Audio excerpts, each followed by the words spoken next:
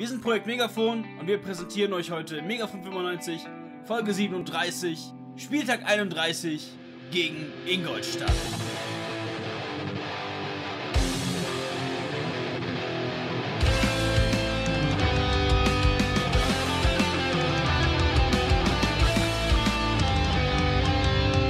Herzlich willkommen, liebes Megafon 95, Fortuna Düsseldorf, Universum.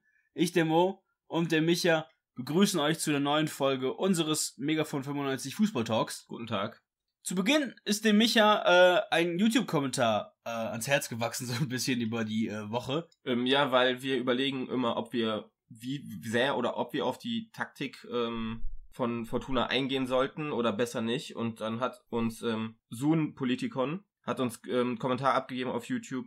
Gerne ab und an ein bisschen Taktik, gerade Zuhörer, welche einfach nur Fans sind und selber keine großartige Fußballhistorie hinter sich haben, fehlt vielleicht ab und an das taktische Verständnis. Da könntet ihr wunderbar etwas Abhilfe schaffen. Das heißt für uns, in Zukunft mehr Taktik? Jein. Wenn es passt, werden wir es anschneiden, aber wir werden nicht jeden Tag oder in jeder Folge die Taktik komplett auseinandernehmen. Nein, das werden wir nicht tun, vor allem weil Frieden und Funkel uns wahrscheinlich auch in der nächsten Saison nicht die Freude tun wird, da großartige Kunststücke zu präsentieren, dass wir da wirklich ins Detail jede Woche äh, kleine neue Kniffligkeiten, die auf den Gegner abgestimmt waren, ansprechen können. Aber wenn, wenn mir mal was auf dem Herzen liegt, werde ich jetzt in Zukunft auch mal die Taktik äh, anhauen. Natürlich sprechen wir auch am Ende der Folge gegen Dynamo Dresden, also unsere nächsten Gegner. Ähm, bevor wir jetzt in das Spiel reingehen, Micha gegen Ingolstadt, was ein überragendes Spiel war, unser Fortuna. Die Gründe werden wir äh, dazu gleich aufklären. Aber Micha, ähm, Wolf verlängert bis 2021. Wir haben letzte Woche noch spekuliert, bleibt er oder bleibt er nicht. Ähm, dir war es egal, jetzt hat er unterschrieben bis 21. Ich find's gut. So haben wir nächstes Jahr in der Bundesliga einen guten Backup, falls Michael Rensing sich nochmal verletzen sollte. Ja, um ehrlich zu sein, mich hat's überrascht, dass er jetzt doch verlängert hat. Ja, jetzt ist die Frage, was dann aus Rensing, beziehungsweise was dann aus Wiesener wird. Der wird wahrscheinlich ähm, wieder regelmäßig äh, zweite spielen und mit der ersten trainieren, wenn er dann wieder gesund ist. Also ich glaube mal so, er wird nicht mehr lange im Verein bleiben, weil er ist auf jeden Fall besser als Regionalliga, Dann meiner würde, Meinung nach. dann würde das äh, zutreffen, was Jens uns vor einigen Wochen im Sonder-Special-Bonus-Podcast zur zweiten gesagt hat. Also wenn ihr Interesse an der zweiten habt, hört da auch gerne mal rein. Jetzt äh, werden uns die nächsten drei Spiele zwei Leute ausfallen. Einmal Fink, hier ist die Saison beendet. Und auch für Hoffmann mit seinem Hodenriss, da ist auch scheinbar vorbei, der wird nicht mehr rechtzeitig fit, also sagt man kurier aus. Ja, bei ihm ist das Problem, dass er, das, was ich gelesen habe, war, dass er halt die Narbe durch das zu durchlaufen wird die Narbe zu sehr beansprucht und deswegen so an sich könnte er, aber weil die Narbe dann halt und ähm, Fink hat halt seine Adduktorenprobleme. Aber das Ziel gegen Ingolstadt, äh, das Spiel gegen Ingolstadt hat ja eigentlich gezeigt, eigentlich ähm, sollte das auch jetzt äh, ohne die beiden gut zu Ende gehen, die Saison. Die vergangene Woche hatte sonst in der Fortuna-Welt nicht wirklich ähm, viel, was es Neues gab. Ähm, weil ansonsten war ja immer irgendwelches Gelaber. Klar, da gab es diese Woche auch dieses, dieses fast schon Battle nach, ja, kommt ins Stadion, aber das ist ja dann auch wieder. Ja, das ist ja Thema. auch schon seit der Rückrunde immer so, dass dann gemeckert wird, dass da, ähm, ja, dass die Leute mehr ins Stadion kommen sollen und gegen Ingolstadt war auch das, was man als Euphorie bezeichnen könnte, weil auch mal wieder richtig, richtig geile Stimmung im Stadion war, dass auch mal nicht nur bei einem Lied oder, oder so, sondern dass auch immer mal wieder die anderen Ränge mitgesungen haben und da merkst du halt, die Leute haben Bock.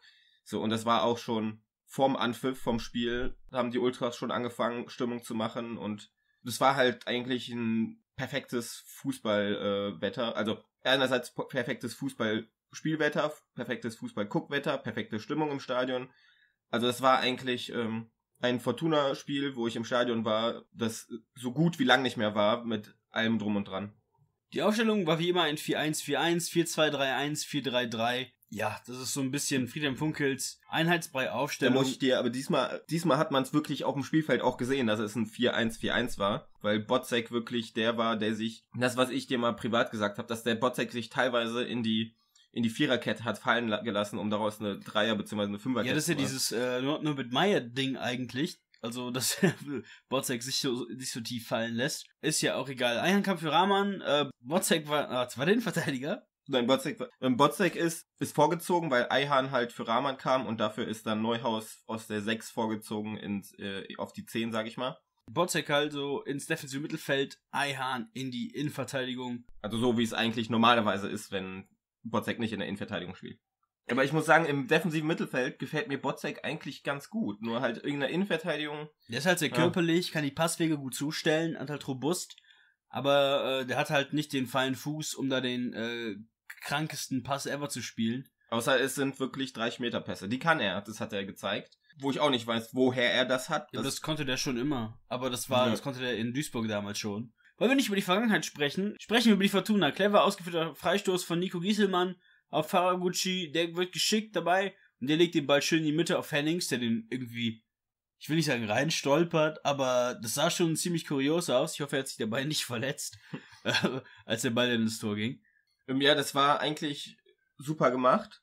Und das war mal wieder so, der erste Torschuss war direkt drin und dann hat man gemerkt, die Mannschaft hatte auf einmal wieder Selbstvertrauen und hat auf einmal, ist auf jeden Fall komplett anders aufgetreten als die letzten Spiele, wo man gefühlt immer ein unnötiges Gegentor kassiert hat, obwohl man die bessere Mannschaft war und dann dem Rückstand hinterherlaufen musste und es nicht mehr geschafft hat, dann das Ergebnis zu Da drehen. können wir gleich im Fazit noch zu kommen, bevor wir, bevor wir zum Fazit kommen, sprechen wir mal kurz noch über das Spiel. 39. 12 Fortuna Ekusami, Kopfball Gieselmann, der setzt sich da gut durch und macht dann praktisch ein ähnliches Tor, wie er letzte Woche nicht verteidigen konnte. Passiert halt manchmal. Nach der Halbzeit halt Haraguchi äh, setzt sich mit einem guten Pass durch äh, in den Strafraum, ist aber alleine vor dem Tor und der Schuss ist dann zu unplatziert.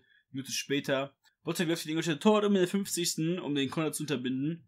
Hier nicht die feine Art, aber Micha, es gab zwar jetzt Gelb für Botzek, aber manchmal äh, musst du halt auch robust sein, um eine Führung zu verteidigen, oder? Ja, das war genau so eine Aktion, dass äh, Nieland heißt der Torwart, glaube ich, von Ingolstadt. Der hatte den Ball und sieht dann, dass rechts auf dem Flügel ein Ingolstädter komplett alleine ist. Botzek sieht das auch und denkt sich dann so, ja nee, den lauf ich jetzt einfach um, damit der den Ball nicht spielen kann.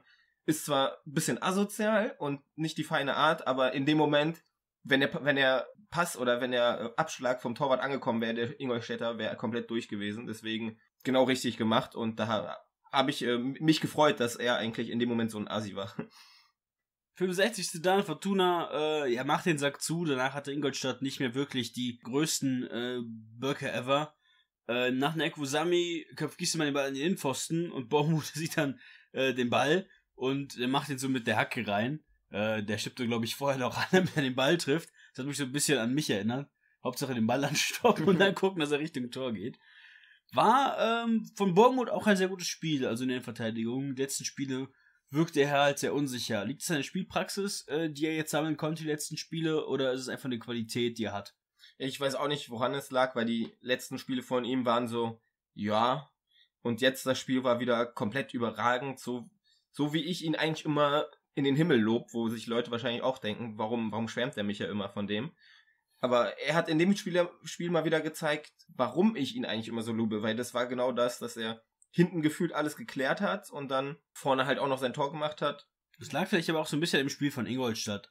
Die letzten drei Spiele waren halt auch gegen Spieler, die sehr defensiv waren. Ingolstadt spielte halt recht ausgeglichen, recht offensiv, wollten viel den Ball haben, wollten viel mit Tempo in die Zweikämpfe gehen, um dann ihre äh, Stürmer in der Box zu suchen, mit hohen Bällen, mit mittelhohen Bällen. Und da ist halt so ein Bormut, der gefühlt 10 Meter hoch ist und jeden Ball wegkloppt, ist halt da genau der richtige Mann. Ja, dann 77. Gieselmann hämmert den Ball äh, von außen mit Vollspann in den 16er. Dabei äh, ringt ihm fast ein Tor tatsächlich. Aus unmöglichen Winkel auch Nyland, der kann den Ball noch gerade halten. Ähm, dann 79. recht spät, wechselt Funkel, aber bei 3-0 kann man das machen. Äh, Rahman kommt für Usami, äh, Nielsen kommt für Neuhaus. Ja, was mich an dem Wechsel überrascht hat, war, dass Hennings zwei Minuten vorher angezeigt hat zum Trainer so, ich kann nicht mehr, ich will ausgewechselt werden. Und dann, dann siehst du, äh, dass auf einmal äh, Nielsen angelaufen kommt, um eingewechselt zu werden. Und dann kommt die Anzeigetafel hoch und ich so, ja, Hennings kommt raus. Auf einmal kommt Neuhaus raus und ich war komplett überrascht, weil Hennings halt wirklich angezeigt hat, okay, ich möchte raus. Und ähm, das gleiche war es dann auch schon, äh, als dann wieder ein Wechsel anstand. Da dachte ich mir, okay, diesmal kommt aber wirklich Hennings raus. Aber Aber dann vier Minuten später. da, da hatte Gieselmann mit Krämpfen äh, Probleme.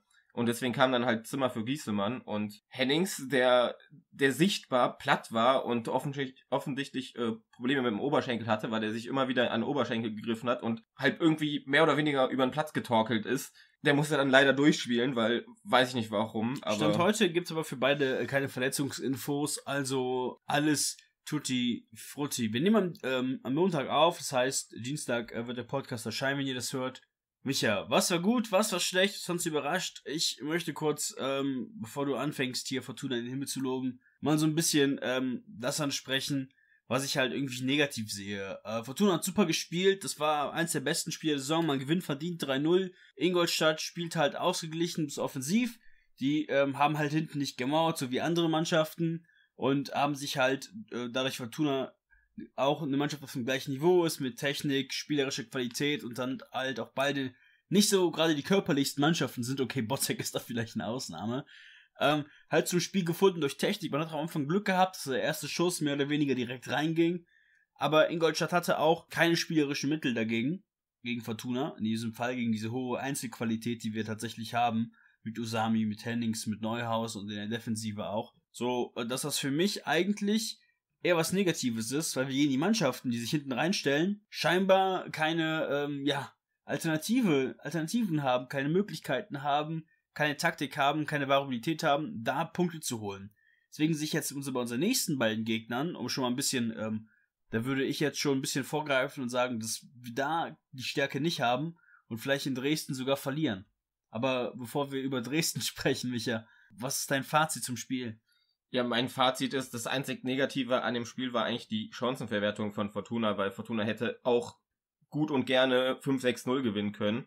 Deswegen ist ein 3-0 auch in der Höhe komplett verdient und ähm, deswegen es war mal wieder eine Vorstellung, wie man es wie man es noch von der Hinrunde kennt, dass Fortuna einfach komplett souverän und überragend ein Spiel runtergespielt hat und man eigentlich zu keinem Zeitpunkt oder beziehungsweise nach dem 1-0 hatte man zu keinem Zeitpunkt Sorge, dass Fortuna das Spiel aus der Hand gibt, sondern gegen Ende hin, als Ingolstadt dann auch noch ein bisschen, äh, weiß nicht, ob bei denen dann die Kraft gefehlt hat, auf jeden Fall gegen Ende hin war es dann wirklich nur noch so, dass man sich dachte, oh, eigentlich traurig, dass Fortuna die ganzen Torchancen nicht genutzt hat.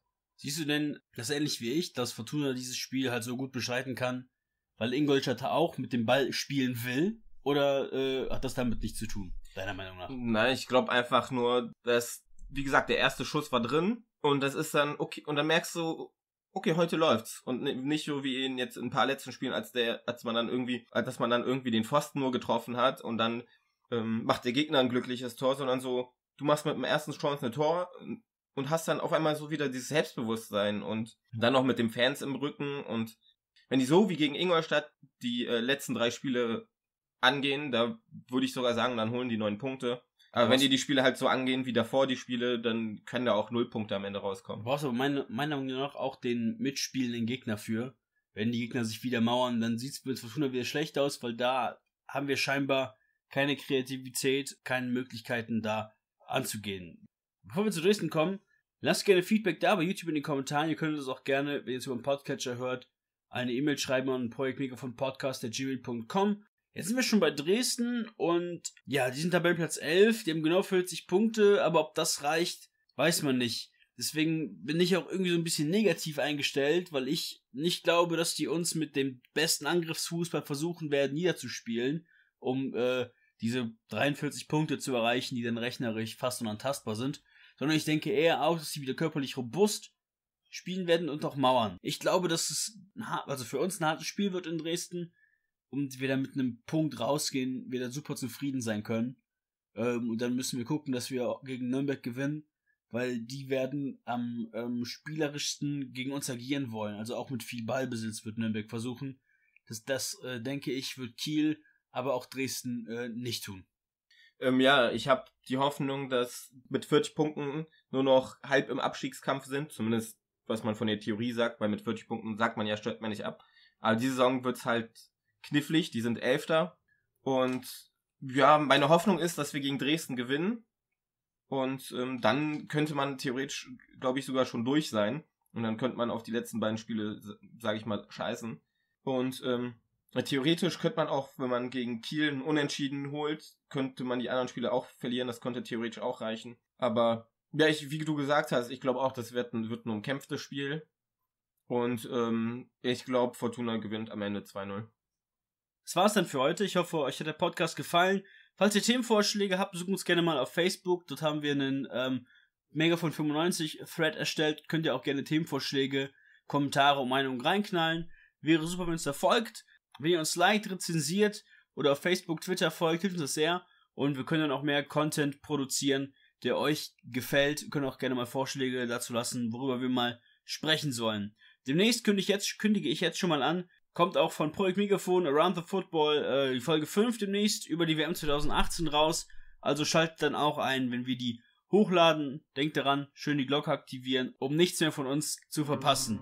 Micha, danke, dass du heute mit dabei warst. Bitteschön. Und dann würde ich sagen, euch noch eine schöne Woche. Auf Wiedersehen. Und bis zum nächsten Mal.